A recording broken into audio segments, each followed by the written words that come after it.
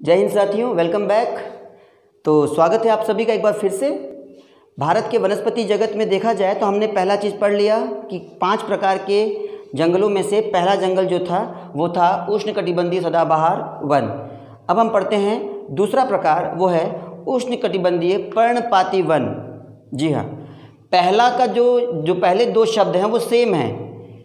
यानी कि बारिश भी और धूप भी। मगर दूसरा जो चीज़ है, वो सदाबहार कह रहा है और यहाँ कह रहा है पर्णपाती। पर्णपाती का मतलब हो गया पतझड़ी। पतझड़, यानी कि एक बार साल भर में यहाँ के जो पेड़ हैं, वो अपने सारे पत्तियाँ झड़ देती हैं। ठीक है? यानी कि जिस तरीके से सदाबहार वन साल भर हरे भरे रहते हैं, वो अपने इस तरीके से एडजस्टमेंट करके रखते हैं कि कभी उनके जो पेड़ होते हैं वो बिना पत्तियों के नहीं दिखते, मगर यहाँ पर एक साथ सभी पेड़ अपने पत्तियाँ झड़ देती हैं। वो कब झड़ती हैं? शीतकाल में। यानी कि विंटर के समय यहाँ पे जो वृक्ष पाए जाते हैं, कहाँ पर? किस प्रकार के वन में? पर्णपाती वन में। वो साल भर में एक बार शीतकाल में, विंटर सीज़न में अपनी पत्तियाँ झड़ देती हैं। चलो, अब ये बात तो समझ में आ गया नाम से कि पर्णपाती मतलब पतझड़ी वन। साल भर में एक बार पत्तियाँ झड़ देंगी। तो ये कहाँ पाए जाएँगे भारत में? भाई, साल भर में अगर पत्तियाँ एक बार झड़ती हैं तो ये कहाँ पे पाए जाएँगे? ये ऐसे जगह पाए जाएँगे जहाँ पर बारिश उतना नहीं होता जितना कि सदाबहार वनों में होता है। क्या था सदाबहार वन का मेन स्पेशलिटी यहाँ पर्याप्त मात्रा में पानी पाया जाता है। मगर पर्णपाती में पानी क्यों? अगर पानी ज़रा सा कम रहेगा तभी तो वो पानी बचाने के लिए अपनी पत्तियों को झड़ देंगे कि ज़्यादा इवापरेशन ना हो, ज़्यादा भाप ना निकले। तो ऐसे में वो कौन से क्षेत्र हैं जहाँ पर बारिश तो होती है, मगर थोड़ा सा उन्हें बचाना पड़ता है। वरना इंसानों की तरह टैंकर लेकर लाइन लगाना पड़ जाएगा कि भैया पानी दो।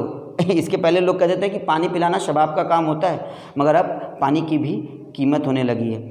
हम आप अभी भी नहीं समझे, मगर ये पेड़ जो हैं बहुत पहले से समझ चुके हैं और वो जानते हैं कि किस तरीके से पानी को बचाया जाए। यहाँ पर हम समरसेबुल लगा लिए फ्री का माल है गाड़ी धो रहे हैं। गाड़ी धोते धोते मन किया तो फिर ज़मीन भी धो दिए धूल उड़ रहा है तो पूरा पत, पानी से एकदम उसको गीला करके रख दिए। कहीं ना कहीं हम मिसयूज़ करते हैं किसी चीज़ का। अभी तक नहीं दिमाग ठिकाने आया है और कभी आएगा भी नहीं। ये नेचर रहा है इंसानी फितरत रहा है। जिसके पास बहुत ज़्यादा पैसा रहता है, वो सब भूल जाता है कि वो प्रकृति के अधीन है। वो सोचता है सब कुछ खरीद लेगा वो। तो ये ये इंसानी फितरत है, क्या कर सकते हैं? बट हम चाहते हैं कि हमारे छात्र जो हैं, वो इस बात को समझें, पानी की महत्व को समझें। जिस तरीके से आज पानी के लिए लोग हाहाकार मचा है, शहरों में चले जाइए, महानगरों में तो बाल्टी लेकर लोग टैंकर के पीछे खड़े होते हैं, तब जाके एक बाल्टी पानी मिलता है। और तो और, इस कोरोना काल में वृक्ष कितने ज़रूरी हैं? पौधे कितने ज़रूरी हैं? इस बात का भी एहसास हुआ होगा कि अभी तक तो लोगों को लगता था कि ऑक्सीजन तो हवा में है। सांस लिए, फेफड़े में एकदम ऑक्सीजन आ गया। बट अब तो ऑक्सीजन भी आपको सिलेंडर ख़रीदना पड़ रहा है, क्योंकि ऑक्सीजन हमें कम मिल रहा है। तो जब आपके लंग्स कमज़ोर हो जाएँगे, आप आप सर्वाइव नहीं कर पाएँगे, क्योंकि खुद कहता है डार्विन का जो थियरी है कि सर्वाइवर वही हो सकता है सर्वाइव वही कर सकता है जो फिटेस्ट होगा। तो अगर आपको फिटेस्ट रहना है तो आपको अपने पर्यावरण को बहुत ही सही रखना होगा। तो आइए देखते हैं, पर्णपाती वन वो कौन से वन है, जहाँ पर बारिश 200 सेंटीमीटर से कम होता है। सदाबहार वन में हमने क्या पढ़ा था? 200 सेंटीमीटर से ज़्यादा बारिश होती है। तो यहाँ पर कितना होता होगा और किस जगह पर होता होगा? आइए अब हम लोग उसे देखते हैं। तो तो दोस्तों देखा जाए कि यहाँ पे कितने बारिश होने पर, किस, उस जगह पर कौन सा वन मिलेगा। तो यहाँ पर वर्षा जो है 200 सेंटीमीटर से 70 सेंटीमीटर तक जहाँ पर बारिश होगी 200 से 70 सेंटीमीटर तक जहाँ बारिश होगी, वो जगह आपका, ये हो गया आपका पर्वतीय क्षेत्र, ठीक है? ये हो गया आपका थार अरावली का क्षेत्र आपका रेगिस्तानी क्षेत्र हो गया, ये आपका गुजरात का क्षेत्र हो गया जहाँ कच्छ है तो ये आपका हो गया। इसके बाद आपका ये पठारी क्षेत्र थोड़ा सा आपका छूट जाता है, ठीक है? तो अब ज़रा देखें आप। ये जो आपके बीच में आप, आपको ये जो दिख रहा है, ये हिस्सा पूरा। ये जो आपको ये पूरा हिस्सा दिख रहा है, ये। ये आपका जो है पर्णपाती यानी कि पतझड़ी वन, जिसे हम मानसून फॉरेस्ट भी कहते हैं। क्यों कहते हैं? अभी समझते हैं उसे। या आप देख सकते हैं, भारत में सबसे ज़्यादा क्षेत्र अगर कोई कवर कर रहा है, सबसे ज़्यादा क्षेत्र अगर कोई कवर कर रहा है, या आप देख सकते हैं बिंदी बिंदी हमने दिया है इस पर तो वो कौन कवर कर रहा है? डेसीडियस फॉरेस्ट ठीक है? मानसून फॉरेस्ट पर्णपाती फॉरेस्ट कई नाम हो गए इसके, याद रखेंगे। तो एक तो हो गया आपका मानसून फॉर मानसून भी कहा जाता है इसे मानसून फॉरेस्ट भी कहा जाता है। ठीक है? क्यों? क्योंकि भारत में अधिकतर एरिया ये कवर करता है और ये पूरा का पूरा कंडीशन जो वर्षा के अनुसार डील करते हैं, जहाँ पर 200 से 70 सेंटीमीटर तक की बारिश होती हो। ठीक है? अब आगे बढ़ा जाए, और इसे और इंग्लिश में क्या कहते हैं? डेसीडियस डेसीडियस फॉरेस्ट कहा जाता है। तो तो अब आप ज़रा इस मैप को देखें और इससे समझने की हम लोग कोशिश करते हैं। कौन कौन से ऐसे क्षेत्र दिख रहे हैं आपको कि जहाँ आपको लग रहा है कि ये पर्णपाती क्षेत्र जो हैं, पर्णपाती वन का क्षेत्र है? सबसे पहले तो आप अपना क्षेत्र ही देख लीजिए। बच्चों, आप लोग कहाँ रहते हो, किस राज्य में? उत्तर प्रदेश में रहते हैं। तो उत्तर प्रदेश का ये एरिया है। अब ज़रा सोचिए कि ठंडक के समय पत्तियाँ झड़ जाती हैं नहीं झड़ जाती हैं? झड़ जाती हैं ना? क्यों झड़ जाती हैं? क्योंकि वो उस समय ना उनको धूप पर्याप्त मात्रा में मिलता है और धूप न मिलने के कारण वो ये कोशिश करते हैं कि क्योंकि पत्तियाँ कहीं ना कहीं भोजन बनाती हैं, वो हमारे सूर्य की किरणें प्राप्त करके भोजन बनाती है, फोटोसिंथेसिस, प्रकाश संश्लेषण जिसे कहा जाता है। जब नहीं प्राप्त करते तो वो क्या करते हैं, अपनी पत्तियाँ एक साथ झड़ देती हैं। तो अब बताइए वो कौन कौन से पौधे हैं जो आप अपने क्षेत्र में देखते हैं और वही पौधे बाद में वृक्ष का रूप लेते हैं? सबसे पहला हो गया आपका पीपल पीपल आप देखते हैं, नीम देखते हैं, है ना? शीशम देखते हैं। और कौन कौन से पेड़ आप देख सकते हैं? बरगद देखते हैं। है ना? तो ये सब जो पेड़ हैं, ये सब पर्णपाती वृक्षों के अंतर्गत आते हैं। डेसीडियस फॉरेस्ट में आपको पीपल, नीम शीशम और जामुन, महुआ ऐसे ऐसे पेड़ों के नाम जो आपके क्षेत्र में दिखते हैं, वो सब आपका ये डेसीडियस ट्रॉपिकल डेसीडियस फॉरेस्ट के अंतर्गत आता है। याद रखेंगे एग्ज़ाम्स में कभी कभी पूछता है कि मानसून फॉरेस्ट किसे कहा जाता है? तो ऑप्शन दे देंगे आपको एवरग्रीन फॉरेस्ट सदाबहार वन डेल्टा वन, है ना? उसके बाद मरुस्थलीय वन या पर्णपाती वन। तो उत्तर क्या लिखेंगे आप? पर्णपाती या पतझड़ी वन जो भी उसमें लिखा होगा दोनों में से। तो पर्णपाती वन को तीन नाम दिए गए हैं। पर्णपाती, पतझड़ी, मानसून और इंग्लिश में डेसीडियस तो ये चीज़ क्लियर हुआ। बारिश कितनी होनी चाहिए थी यहाँ पर? 200 सेंटीमीटर से 70 सेंटीमीटर के मध्य जो बारिश होंगे, वो आपका पर्णपाती के क्षेत्र में आते हैं।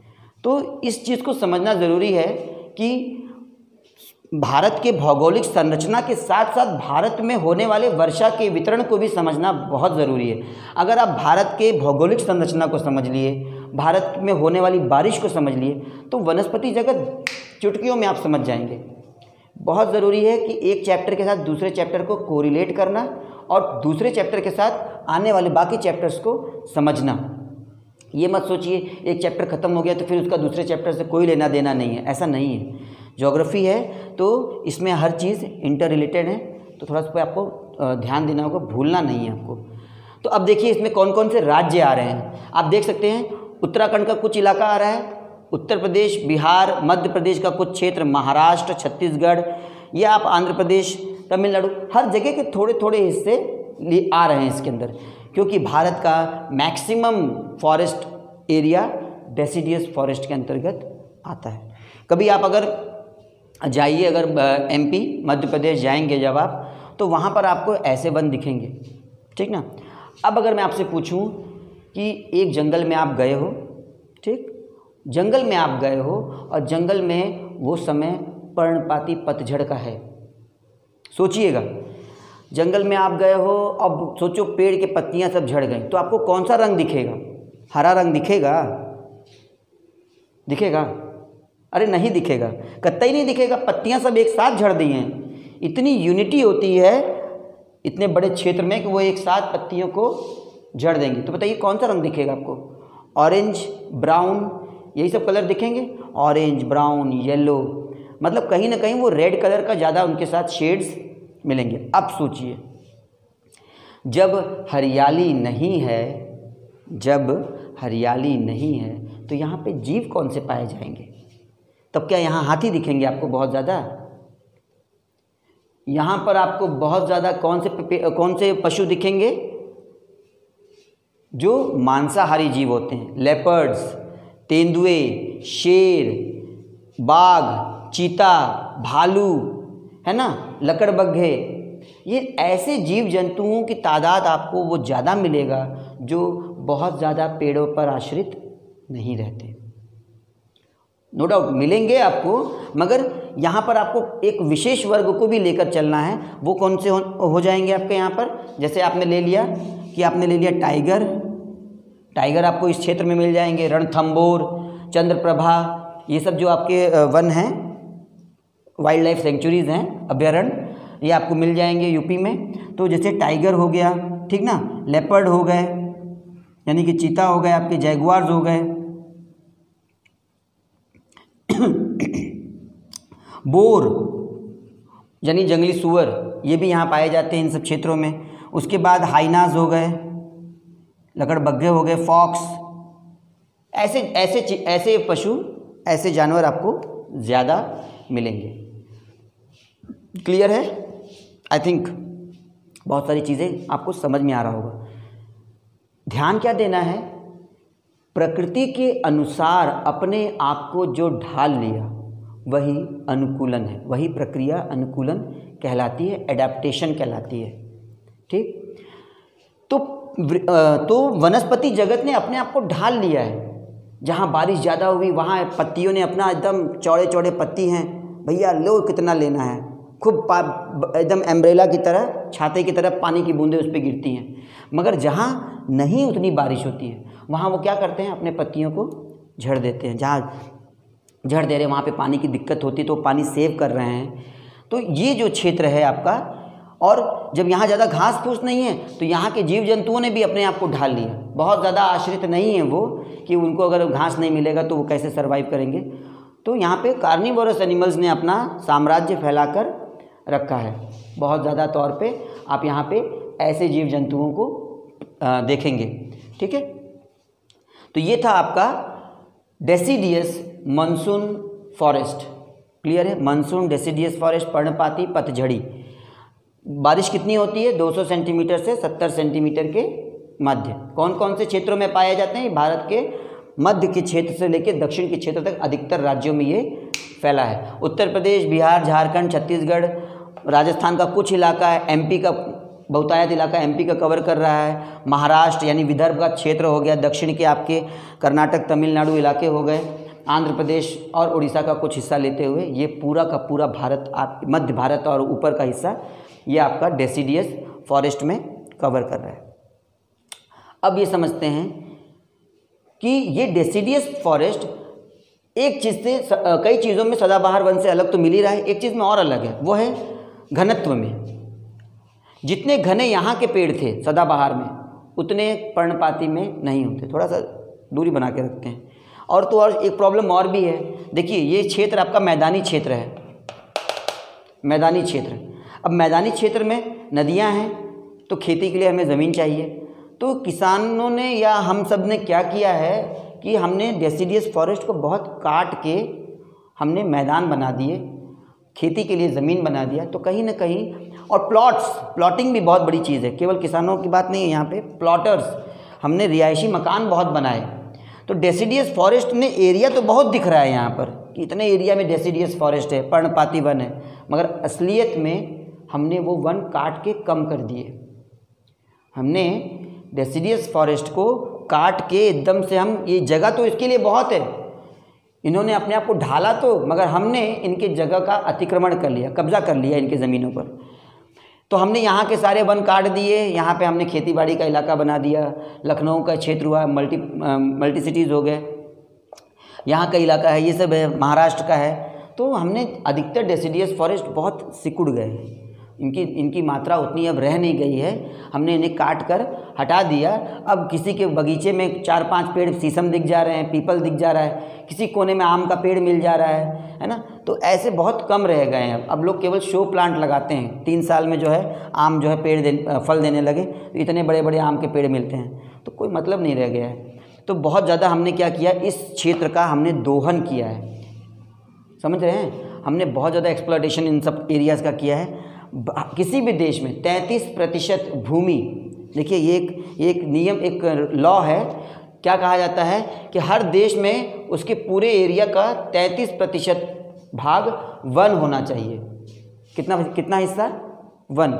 भारत का कुल क्षेत्र कितना है? बत्तीस लाख सत्तासी हज़ार चार सौ उनहत्तर। ठीक? इतना भारत का कुल क्षेत्रफल है, स्क्वायर किलोमीटर।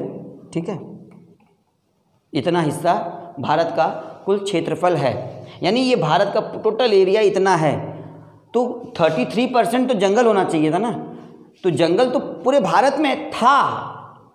था बट हमने काट काट के, काट काट के आज के समय में अप्रॉक्सीमेटली सेवन लैख सात लाख का क्षेत्र ही, सात लाख एरिया सात लाख स्क्वायर किलोमीटर का एरिया ही हमारे पास जो है किसमें है वो अब? जंगल के क्षेत्र में। तो इसका मतलब near about twenty one percent लगभग ट्वेंटी वन परसेंट ही हमारे पास जो है अब वन क्षेत्र रह गए। यानी कि धीरे धीरे कम ही हो रहा है। जितना ये कम होता जाएगा, हम अपने इकोसिस्टम को डिस्टर्ब कर देंगे। जो हमारी पारिस्थितिकी तंत्र है, वो कहीं ना कहीं ख़राब हो जाएगी और आने वाले समय में हम और भी बड़े से बड़े आपदा का सामना करना पड़ेगा। और जब हम प्रकृति के संतुलन को बिगाड़ेंगे तो प्रकृति अपने संतुलन को वापस बनाने के लिए इंसान को उसकी औकात ज़रूर दिखाएगी। तो दोस्तों, ये था आपका पर्णपाती वन के बारे में एक छोटा सा class I hope you all have enjoyed it मिलते हैं नेक्स्ट क्लास में, पढ़ते हैं अगले क्लास में क्या होने वाला है, कौन से वन के बारे में हम पढ़ेंगे। थैंक यू जय हिंद।